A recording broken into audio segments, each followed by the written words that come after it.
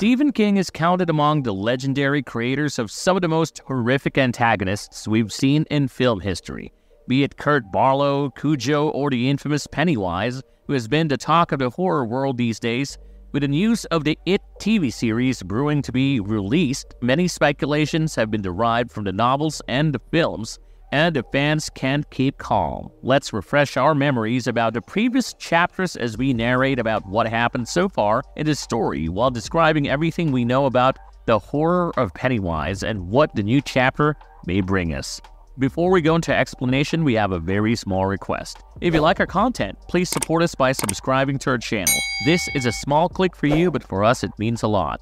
Thank you and let's begin.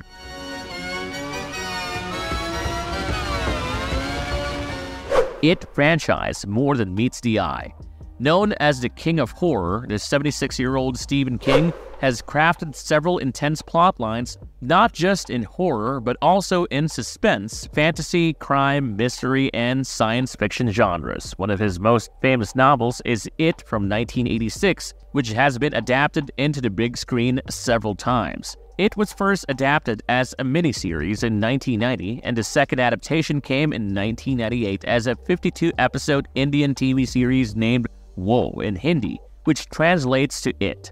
The third adaptation came as the blockbuster movie in 2017, produced by Warner Brothers and directed by Andres Muschietti, titled It, and its sequel came in 2019 titled It Chapter 2.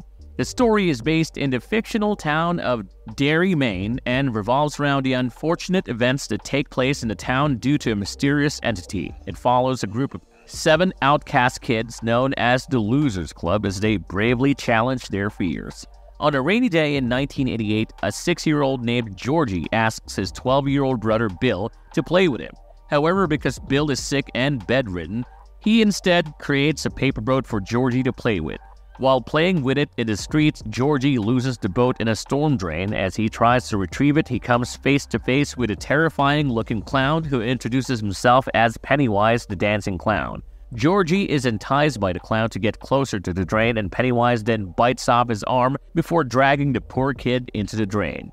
Eight months later, Bill, still haunted by his brother's disappearance, believes that Georgie must still be alive and decides to find him. He is accompanied by his friends Richie, Eddie, Stan, Beverly, Ben, and Mike on a scary mission into the sewers known as the Barrens. All of them are considered outcasts at their school, and along with battling their personal problems, they also struggle with a group of bullies led by an unnecessarily violent boy named Henry Bowers, who shows some serious psychopathic tendencies. The group learns that their town has been haunted by the disappearances of children for centuries. An ancient shape shifting evil named Pennywise, or It, emerges from the sewers every 27 years and preys upon the children before vanishing for another 27 years. With the help of Ben, the most research driven kid who had been collecting clues regarding the incidents, they find that all the sewers connect to an abandoned house that has a hidden well inside of it. Assuming that the entity moves through the sewers and hides in the house, they decide to confront it. When they encounter the entity, they learn that it has immense powers like teleportation, telepathy, mind control, size alteration, and most scary of all, shape shifting, which uses it to morph into the worst fears of the children it preys upon. Pennywise also possesses Henry Bowers and instructs him to commit horrible crimes on its behalf, including killing his own father. The group soon realizes that Pennywise's sole power comes from instilling fear in its victims, and once they learn to overcome that fear, they will be able to defeat it. Although Billy never finds his brother again, the group manages to defeat Pennywise, beating up the supernatural entity like a rag doll before it goes into 27 years of hibernation. At the end of the first film, the Losers Club makes a pact to meet 27 years later, which marks the return of Pennywise from hibernation and stops him in his mission. The sequel, Chapter 2, reunites the group as all of them have left the town and built lives for themselves, except for Mike, who has stayed and dedicated his life to researching how to end Pennywise once and for all. 27 years after the first film, Mike witnesses Pennywise's return and calls up the group. Although they don't even have Mike's number saved and have started to forget about the past, they still decide to come back and reunite.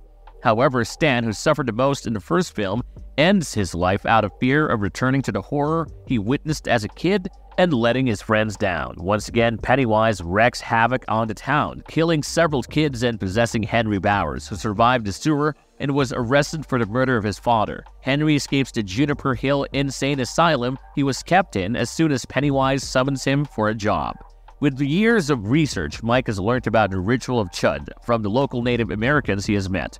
This ritual requires the group to collect artifacts or objects they were connected with when they first encountered Pennywise. Each one of them goes through a series of incidents where they come face to face with the morphed versions of Pennywise. They all narrowly escape it while retrieving the objects that were important to them in the first film, followed by flashbacks of their childhood selves. They then go into Pennywise's lair and perform the ritual. After burning their artifacts inside the ancient vessel that Mike received from the natives, they summon Pennywise by chanting, Turn dark to light. This turns the entity into its original form of deadlight before capturing it in the vessel. But they fail to successfully contain Pennywise as it escapes much more inspired to kill them. Growing even larger in shape, it ends up killing Eddie before getting impaled in the head by him. After much struggle, the group finally resorts to throwing insults at Pennywise, showing it that they did not fear it. They humiliate it by calling it just a clown, causing it to shrink smaller in size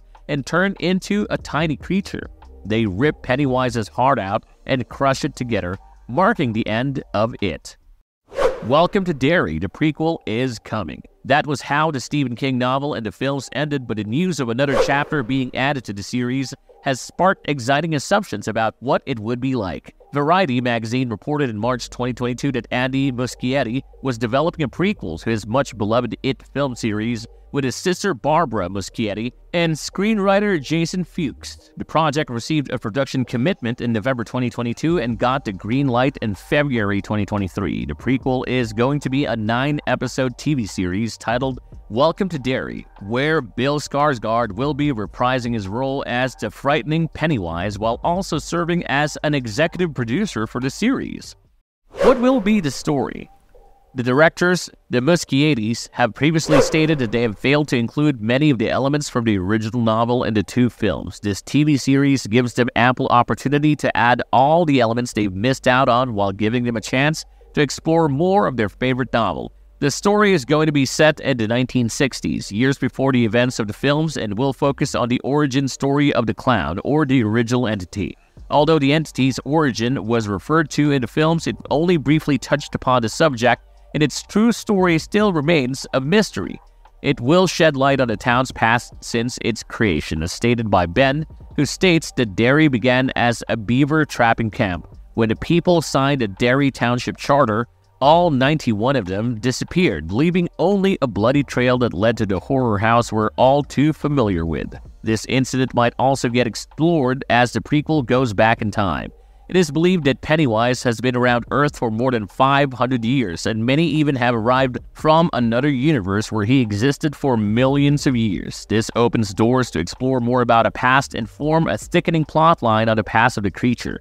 It can be speculated that the series will be followed by several seasons with a wide range of possibilities for its story to continue. As we've seen in the films, Pennywise is too skilled and intelligent in capturing and killing its victims, which can be summed up to its years of experience and practice. The show may show us how this evil creature came into being, including its first kill and all those that made him better at his chase. It can also be speculated that the creature will possess more people like it possessed Henry Bowers to work on its command, and another set of kids will have to face it while fighting their own fears. Hence, the film will be dwelling deep into the history of the entity that has taken over several horrific shapes, the most famous being the one of Pennywise, the clown, to haunt the town of Derry and feed on the children. It may dive deep into the horror story from Stephen King's novels, where he has mentioned Pennywise's previous hauntings in the town, while also creating its own original background.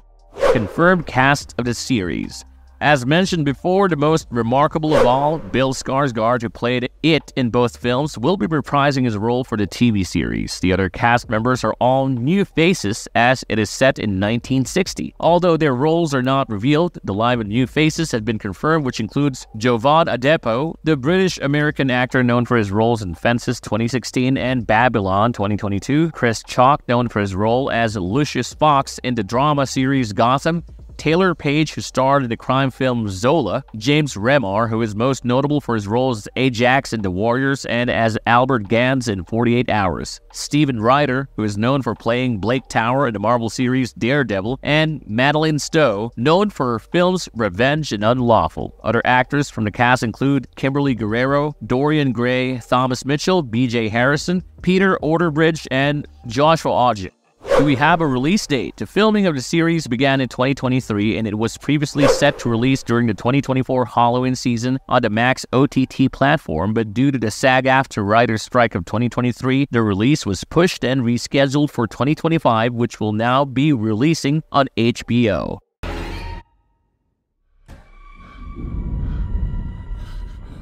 Marvel's verdict. Until the production chooses to reveal more details about the upcoming series, this is all we know about Welcome to Derry, the next chapter in the It franchise. We can assume that it is going to be just as remarkable as the films, with a previous creative team joining hands, and we will get to see the in depth story of how the creature came to be and what havoc it unleashes in the fictional town. With Bill Skarsgård reprising his role, we can hope to witness the same eerie presence on screen as it looms around Derry. What are your thoughts on the upcoming series? Comment down below with your expectations and assumptions. If you liked our content, don't forget to leave a like and subscribe to us if you haven't already. Have a good one and be safe. Thanks, everyone.